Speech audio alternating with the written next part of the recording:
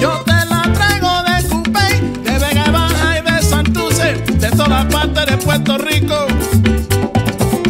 Esta bomba yo la dedico a toda mi gente de Puerto Rico, a la familia Fontanet, allá en Cupey Alto y los Mejía en Vega Baja.